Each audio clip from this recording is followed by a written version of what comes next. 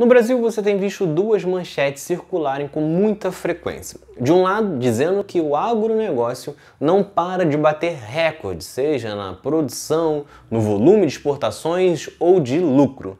Do outro lado, cada vez mais famílias passando fome ou vivendo em meio à insegurança alimentar.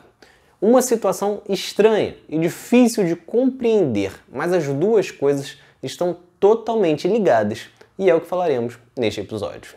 É Pilatos lá na Bíblia quem nos diz, e também faleceu por ter pescoço o infeliz autor da guilhotina de Paris. Desde 2015, mas especialmente nos últimos três anos, temos visto diversas manchetes do alto desemprego no Brasil, na queda de renda da população e no preço dos alimentos, a temida inflação. Isso por si só já explica o tamanho da crise no país. Porém, neste mesmo período, você tem visto também chamadas de que o agronegócio vai muito bem, batendo recordes e aparecendo totalmente alinhado ao governo. Neste momento, você deve se perguntar: se o Brasil produz tanto, por que tem tanta gente passando fome no país? Não era para o foco da produção ser que não falte nada na mesa dos brasileiros? É, deveria, mas não é o que acontece. O foco do agronegócio no Brasil, alinhado com o governo, está na exportação. Hoje, quatro multinacionais controlam 70% da produção, comercialização e transporte de produtos agrícolas. Só que, embora sejam responsáveis pela maior parte dos produtos que fazem parte da rotina alimentar das famílias brasileiras, não há qualquer reserva destinada ao mercado nacional. Com isso, vemos o caso, por exemplo, de 13% do arroz produzido aqui ser vendido para o exterior, fazendo com que o Brasil tenha que comprar um milhão de toneladas, um aumento inclusive de 30% em 2020 em comparação ao que precisou ser comprado em 2019. Uma compra que tem que ser feita em dólar. Ou seja, o Brasil está tendo que importar alimentos que antes era autossuficiente. Outro grande problema do foco do agronegócio você visualiza na carne, que o preço tem aumentado desde antes da pandemia, e isso acontece porque hoje 28,3% da nossa carne bovina é vendida para o exterior. Sobrando menos carnes no país, automaticamente o preço sobe. Ou seja, quando o assunto é alimento, é o exterior acima de tudo, e o que não for possível exportar, aí sim é vendido por aqui. Só que a exportação causa um outro grande problema no país. Se é mais interessante para os produtores venderem para fora do que internamente, o agronegócio então foca no que vai ter mais saída. Desta forma, dos 80 milhões de hectares usados pelo agronegócio no Brasil, 70 milhões são destinados à produção de soja e milho, tirando espaço de produtos que são usados na mesa dos brasileiros com maior frequência. Tudo isso faz com que o país fique mergulhado em uma inflação que já chega a 10,8%.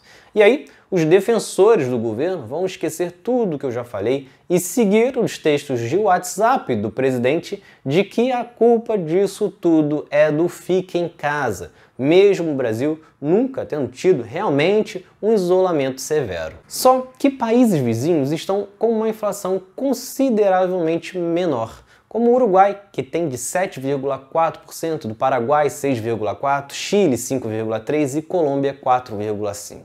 Então, enquanto o governo justifica que a inflação é culpa do fique em casa, na verdade, o grande responsável é o vai para fora, com o agronegócio tendo um aumento de 25% da venda de produtos para o exterior, ao mesmo tempo que 19 milhões de brasileiros passam fome e 55% dos brasileiros vivem algum tipo de insegurança alimentar. Além disso, segundo dados do DIEESE, quem ganha um salário mínimo no Brasil gasta, em média, 55% do salário apenas para comprar alimentos básicos para uma pessoa adulta. Mas o agronegócio, obviamente, não é o único culpado disso tudo.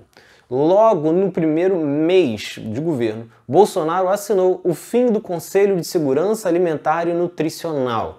O conselho era o principal canal de diálogo entre a sociedade civil e o governo federal para a elaboração de políticas públicas voltadas à segurança alimentar, pois dois terços dos integrantes do conselho eram indicados pela sociedade. Além disso, tem reduzido a cada ano o programa de aquisição de alimentos. O PAA atuava em duas pontas. De um lado, comprava de agricultores familiares e na outra distribuía para a população mais ameaçada pela insegurança alimentar. O programa foi criado em 2003 e em 2012 chegou a ter investido 1 bilhão e 200 milhões. Em 2020, os recursos caíram para apenas 101 milhões.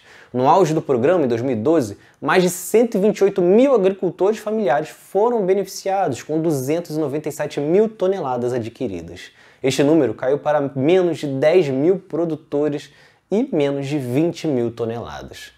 Paralelo a isso, existe crítica de diversos grupos de pequenos agricultores de que as produções de alimentos da cesta básica não são estimuladas pelo governo. Portanto, a alta de preços está ligada a dois fatores alta do dólar, que faz com que a exportação seja mais interessante para os grandes produtores do que o comércio interno, com o real desvalorizado e uma população sem condições de comprar. O dólar alto também faz com que os nossos produtos fiquem mais caros porque o país precisa comprar insumos no exterior e faz isso com a moeda norte-americana. E o segundo fator é o desmonte das políticas que asseguravam uma produção e distribuição de alimentos, assim como a ausência de qualquer outro projeto que as substituísse. É absurdo que mês após mês os preços fiquem mais caros, o número de pessoas passando fome aumente cada vez mais e tudo que ouvimos do governo são desculpas e acusações de que os culpados são outros. Neste mês de outubro, inclusive, Bolsonaro, em uma de suas lives, falou em problema de abastecimento de alimentos em 2022 por falta de fertilizantes, como se ele fosse só um cara na mesa do bar e que não tivesse nada a ver com isso. Mesmo que o governo não tivesse culpa do aumento de preços, mesmo que tudo isso fosse apenas por causa da pandemia ou de qualquer outra pessoa ou governo, a função de um governo federal é minimizar os efeitos para a população, mas absolutamente nada é feito. O Brasil precisa de políticas públicas que incentivem o trabalho de pequenos agricultores para que eles foquem na produção de alimentos da cesta básica ou até mesmo que o agronegócio atue em prol dos produtos que os brasileiros precisam para não passar fome. Ah, e se você quer uma camisa como essa, é só acessar o vesteesquerda.com.br.